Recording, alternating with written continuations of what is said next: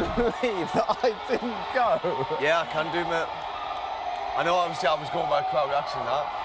I did say my feelings. I was talking to George today. I've got one. My Yeah. feelings were you and Kelly.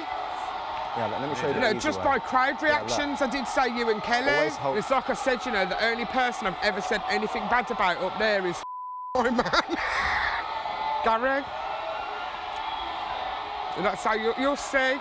Do you know, Everyone, do you know, do you know what the problem is, right? And I'll be completely honest with you. Us complaining, whining, and obviously say, saying all this stuff is getting him the most screen time Correct. out of everyone, Correct.